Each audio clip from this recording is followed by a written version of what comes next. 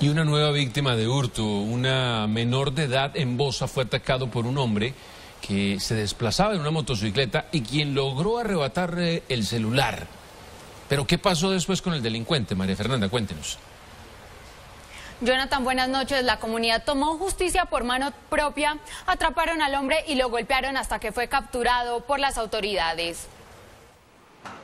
En videos de cámaras de seguridad quedó registrado el momento en el que un motociclista cierra a un sujeto que también circulaba en una motocicleta por la avenida Las Torres, en la localidad de Bosa, aproximadamente a las 11 y 40 de la mañana de este viernes, y que minutos antes le habría hurtado las pertenencias a una joven.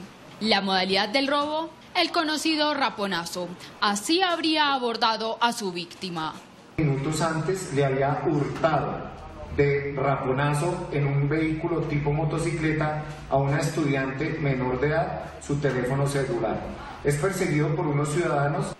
La joven también aparece en pantalla, como ustedes ven, justo cuando toman la motocicleta del delincuente y la comunidad rodea para no permitirle la huida. Posteriormente es capturado por la Policía Metropolitana.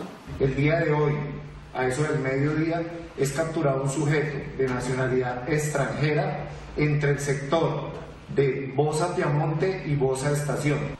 Los habitantes indignados porque además de la delincuencia constante en este sector, la víctima era una menor de edad. Golpearon al delincuente para recuperar las pertenencias y ponerlo a disposición de las autoridades. Invitamos a la comunidad a que no tome justicia por su propia cuenta, sino que llamen inmediatamente al 123 de la policía y hagan sus requerimientos. A las 12 del día de este viernes en la carrera 77J con calle 56I se logró la captura del ciudadano extranjero involucrado en el hurto.